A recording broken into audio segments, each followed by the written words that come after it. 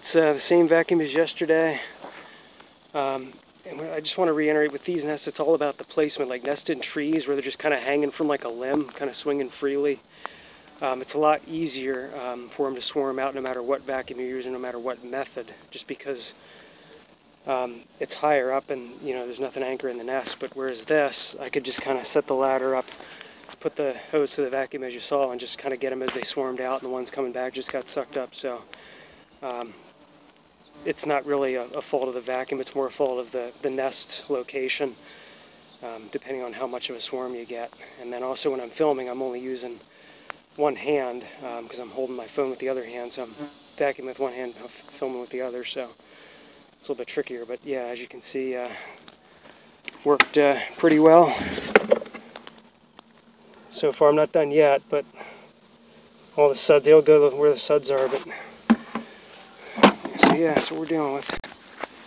Alright, so oh, all is a lot calmer now than this was. And here's the nest.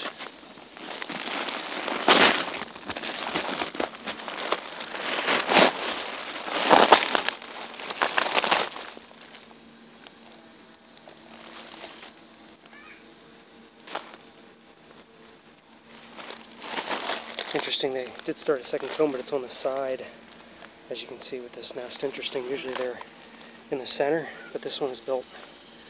See it's off to the side there. Very interesting.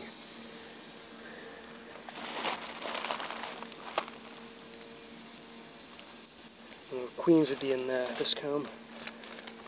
Males and workers are reared in this comb. Queens and some males are reared in this one. And they could have a third and fourth comb, and then it's just queens and some males in those. But all the workers and some males are reared in uh, this uh, top comb. Because the nest is normally facing this way.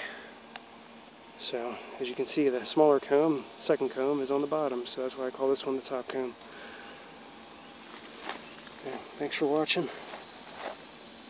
Stay safe and healthy. Hopefully you uh, have a better understanding of the vacuuming system. Um, and stay cool. July the 30th, 2020. Bye-bye.